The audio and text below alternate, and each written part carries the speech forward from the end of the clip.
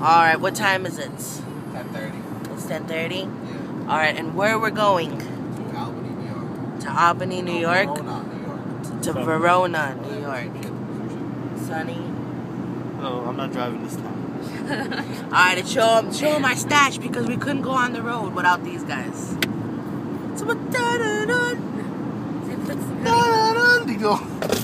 Because in Albany, well, in New York, they're like how much? 12, 13 dollars.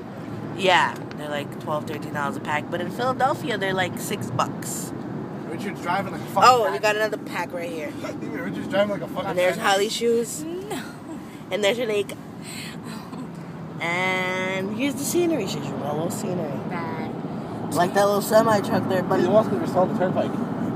Disaster. And we just got on the road. We should be there In another five hours. in about five hours. Yeah. In another five hours. And Richard's in front of us. We had to bring two cars because it's Meet the Griswolds. Wait, Vegas vacation. There's just another 12 people. Yeah, there's only about 12 people, a dog, a baby, and um, Anna's cat. about Anna's cat. Some of the, the pudding.